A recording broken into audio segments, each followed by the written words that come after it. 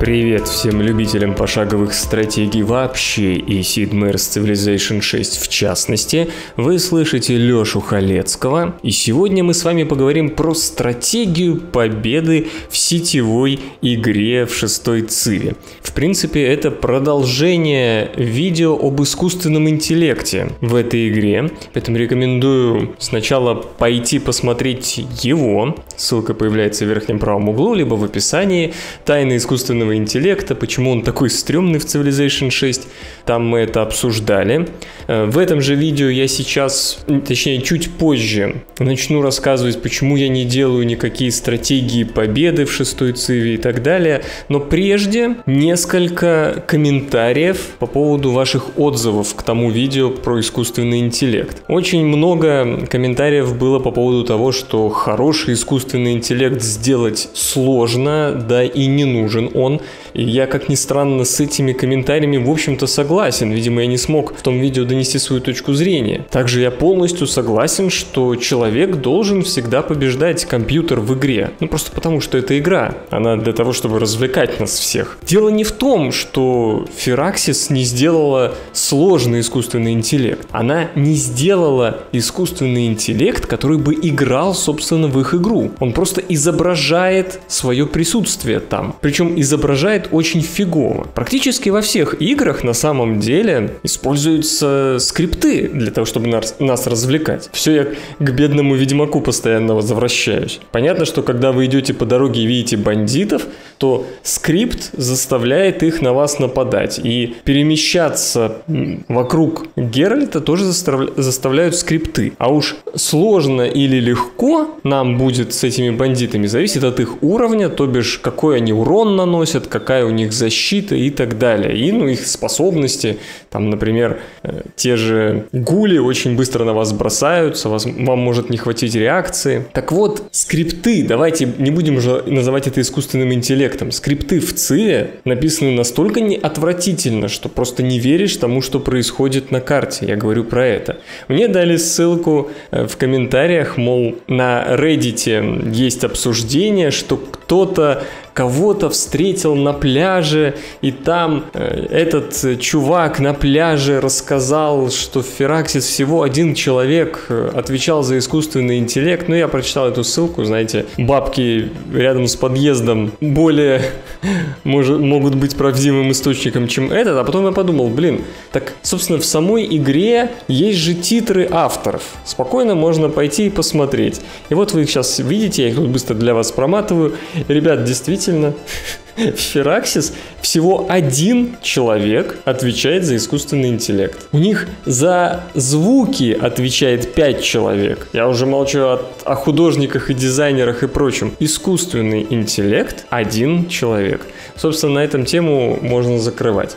Теперь к теме непосредственно этого видео. Почему в шестую циву еще и не интересно в сети, в сети играть против живых людей? Почему я не делаю стратегии? Да потому что это бессмысленно. Ну, понятно, во-первых, будут еще куча выходить нации и дополнения, это точно. Но дело в том, что на данный момент тот баланс, который имеется сейчас, ведет всего лишь к одной стратегии игры и все. Это широкая агрессивная империя. Кто не видел, э, я делал такие обзорные видео большие о том, какие есть пути развития во всех пошаговых стратегий. Я вообще перечислю их пять. Точнее так, пять принципов развития. В зависимости от того, как вы будете развивать ваши города, это высокая или широкая империя. Высокая означает мало городов, но в них много жителей. Широкая это много городов, в которых мало жителей.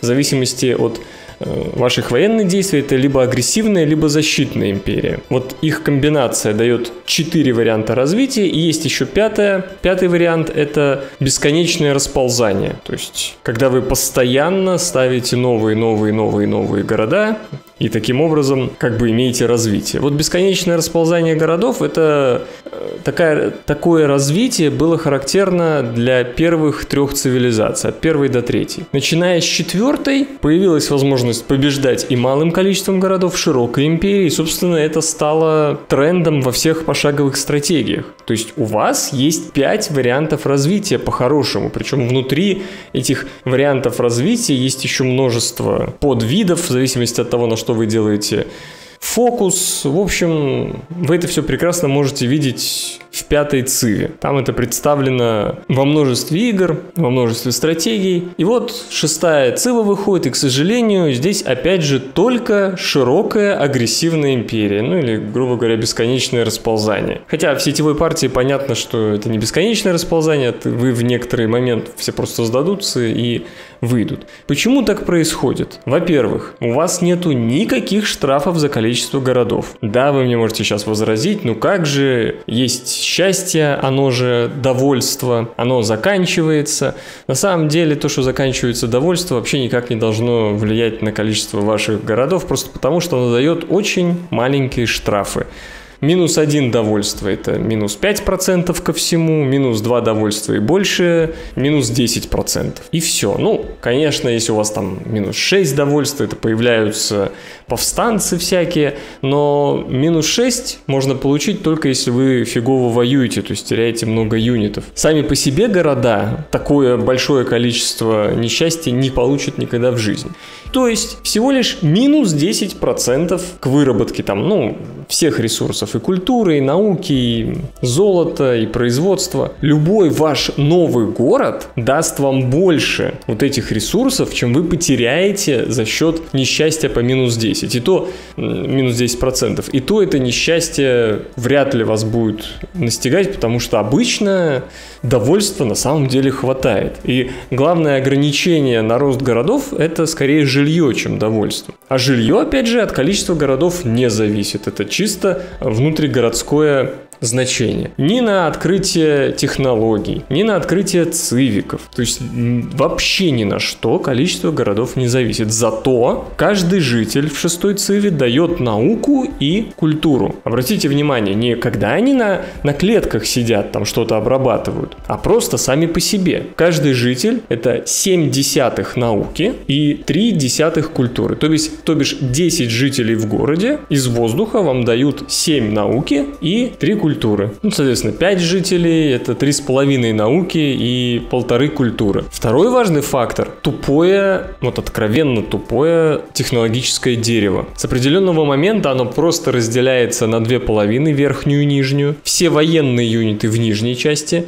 все э, здания, ну, в общем, развитие все в верхней части. Так вот, в сетевой игре нету смысла по верхней идти вообще, если вы играете на Пангее. Пока там ребята идут в университеты, лаборатории и прочие какие-нибудь фабрики, вы по нижней ветке выходите в кавалерию и захватываете все вокруг вообще любое. Причем вы довольно быстро туда выйдете, ну, имея много городов. Если у вас три города, то, естественно, проблемы у вас начинаются. И никаких штрафов за то, что вы идете по нижней ветке, никакого отставания по науке вы не получите. А люди, которые идут по верхней ветке, они наоборот не получат Э, преимущество по науке. Они не смогут вас догнать там или даже улететь в космос на самом деле, пока вы их будете захватывать. Это следующая часть проблемы. Она заключается в том, что здесь рулят только верховые юниты, первое, а второе, то, что Фераксис зачем-то сделал, сделал разделение на тяжелую и легкую кавалерию, и получается, что вам надо сначала идти во всадников, это все тяжелая кавалерия, потом их апгрейдить,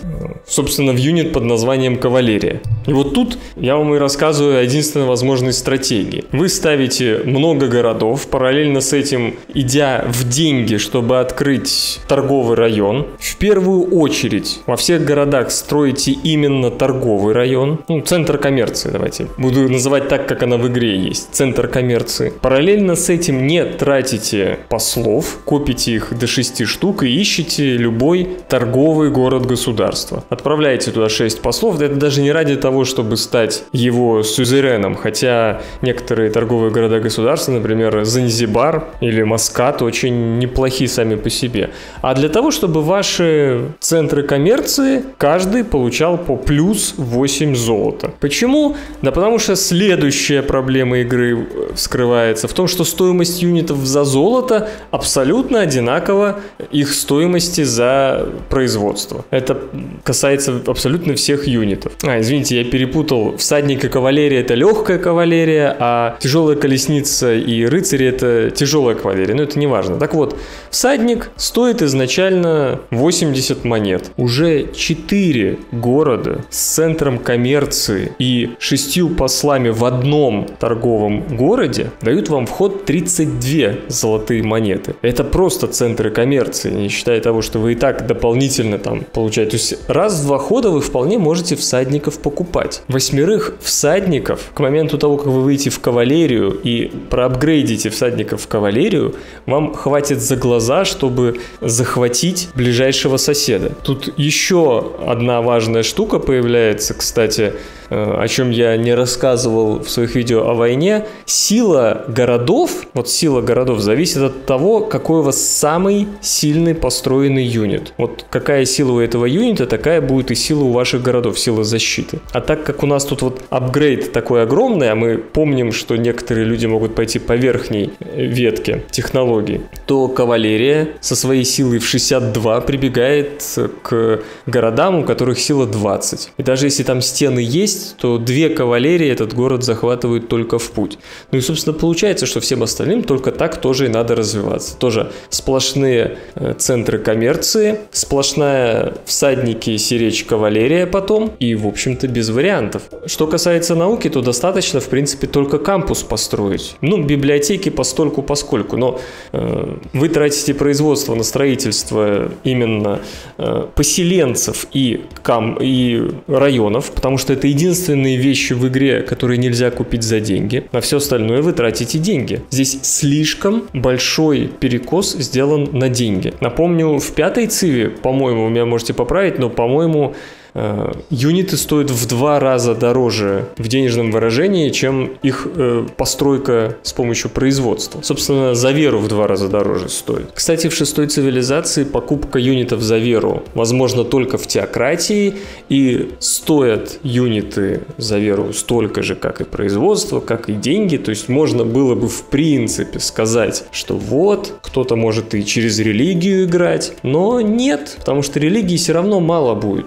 В принципе, принципе, можно было бы изобразить такую очень неплохую стратегию за Россию именно через э, накопление религий. Как раз ты выходишь в русскую, в русских казаков, которые в кавалерии, скупаешь их за веру, но вот именно, что ты их скупаешь. Ты не можешь их проапгрейдить, ты не можешь всадников за веру проапгрейдить, например, да? И ты не сможешь развить свою, свои центры коммерции и поставить их так же, как и тот игрок, который только в центры коммерции пошел. Он все равно будет иметь против тебя себя более выгодную позицию. Вот и получается, что в шестой циве в сетевой игре есть только один путь, вот, собственно, о котором я вам только что рассказал. Центры коммерции, всех послов в торговые города, в торговые города-государства, покупка за деньги начальных юнитов. Да, кстати, есть еще карточка, которая минус один к содержанию юнитов. А здесь стоимость содержания зависит от того, к какой эре они относятся. Соответственно, если вы эту карточку ставите, то все вот эти всадники, которые относятся к античности, да, они просто не требуют содержания, вы можете их бесконечно фигачить. Не хватит потом денег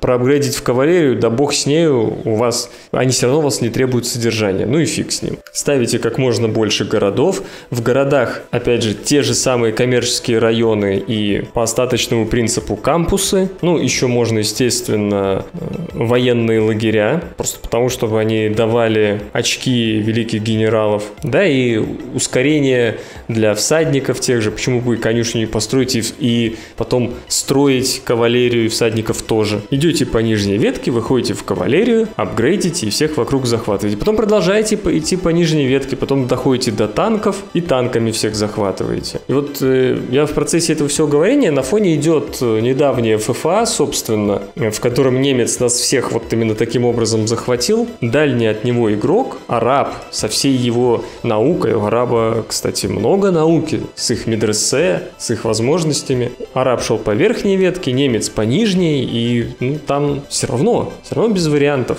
Естественно, не обязательно там строить одних только всадников, придется там и рыцарей построить, но это только для того, чтобы ускорить открытие технологий. Например, кавалерия ускоряется тем, что ваш рыцарь должен какой-нибудь юнит убить. Значит, надо рыцаря построить, кого-нибудь убить, да. То есть требуется как минимум три арбалета, там три лучника, потом три арбалета, чтобы другие техи ускорять. Но это так, постольку поскольку. Именно поэтому э, на архипелагах игра несколько интереснее происходит, потому что там невозможно идти по нижней ветке, ты просто проиграешь. Там надо идти по верху, это параллельное развитие, и твои морские юниты, но даже там все равно выгоднее строить коммерческие районы, а не гавани. Лучше ставить города на побережье и строить коммерческие районы, а гавани уже по остаточному принципу вместо э, военных лагерей. И нету других вариантов развития, вы понимаете? О каких стратегиях я вам могу рассказывать, какие, страте... какие, какие кучу видео по стратегиям я могу сделать, если вот вам единственная стратегия, в принципе, развития в шестой циве. Вместо того, чтобы делать игру разнообразной, чтобы здесь были разные стратегии, вернулась игра через высокие города, вернулась игра через защитную империю, Фераксис выпускает какие-то странные патчи, ну, они хотя бы баги, конечно, правят, но разнообразие в игру они не добавляют абсолютно. То есть, садясь э, за сетевую партию, вы прекрасно понимаете, что будут делать ваши соперники. Вот и все. Тут мало что зависит, в общем-то, даже от наций, которые выбираются. Не, ну есть, есть, конечно, какие-то там нюансы, но в целом игра вот сводится все равно вот к такому пути. Если вы не пойдете по этому пути, вы проиграете тому, кто по нему пошел. Вот вам вся стратегия победы уникальная в шестой циве. То есть надо вводить штрафы за количество городов. Ну да, я помню, что тут еще есть штраф за каждый новый поселенец стоит дороже в производстве и в деньгах, я понимаю, но э, на самом деле это не особо мешает расселяться. Чем быстрее вы поставите как можно больше городов на максимально возможной территории, тем вам будет лучше, и вы все равно в итоге победите. Ну, естественно, если у вас сосед рядом поставил три города и в них военные лагеря построил, то надо, конечно, задуматься, что он может вас захватить. Но если у вас уже нормальная экономика есть деньги покупать всадников, а я напомню, это всего 80 монет, то ранний раш очень маловероятен против вас. Так что в моем представлении надо менять в шестой циве, чтобы эту ситуацию изменить. Во-первых, снизить роль денег, либо чтобы их меньше капало,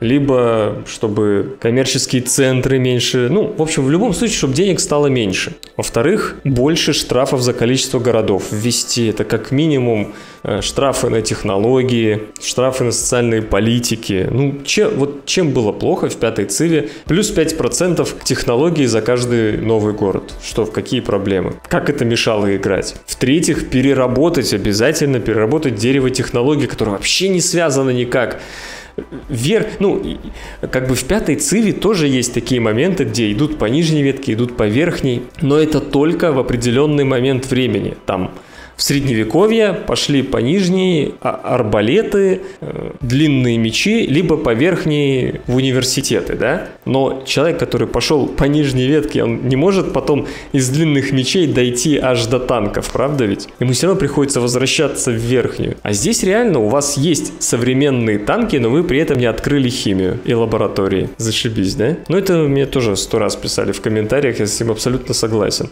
И переработать апгрейд юнитов. Вот это это такой большая разбежка, когда юнит из античности потом а, апгрейдится в юнит из возрождения, это не делает, это позволяет собрать армию дешевых, даже вообще бесплатных в содержании юнитов, потом быстро их апнуть и иди, идти на всех нападать. И заставляет, еще раз повторю, самое главное, что всех остальных именно так играть. Нету разнообразия, нету разнообразия. Вот в этом главная проблема. В общем, жду ваших комментариев с опровержением моих слов, мол, нет, Леша, ты не прав. Вот есть стратегия, которая вот эту стратегию просто выносит на раз. А, ну да, еще пару слов по поводу стратегии стака генералов.